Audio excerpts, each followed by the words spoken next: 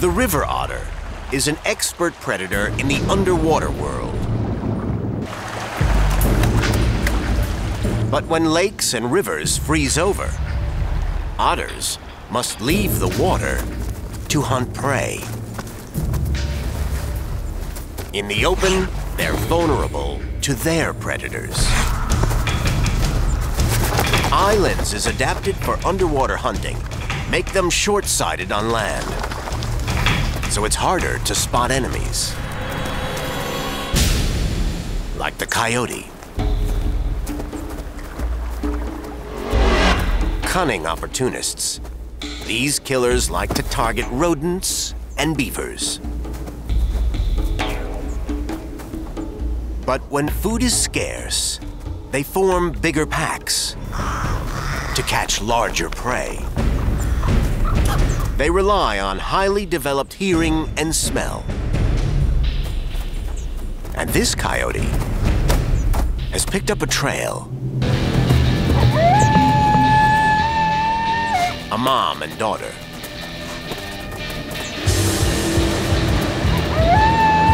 Otters make dens underground. But this pair is out on the hunt coyotes can run at up to 40 miles an hour.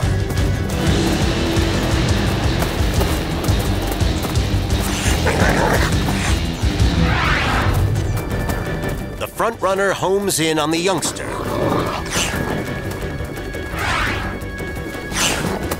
Mom races in to distract the hunters. And it works.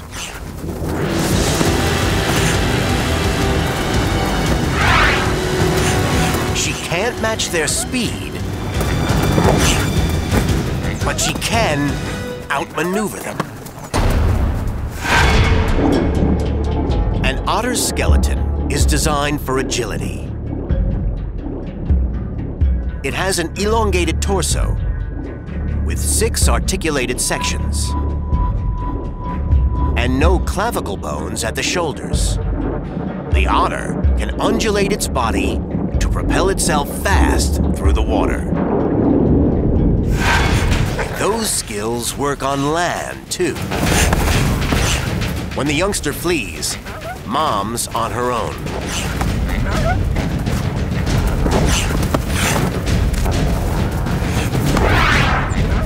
But she's smarter than they think.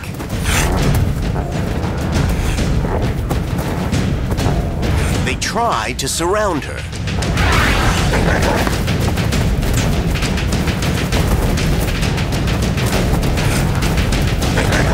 And sink bite after bite.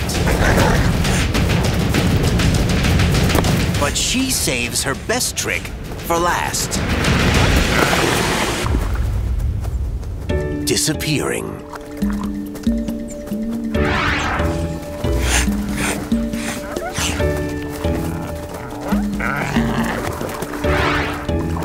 She leaves a bloody trail. But that's all the coyotes get from the wily otter.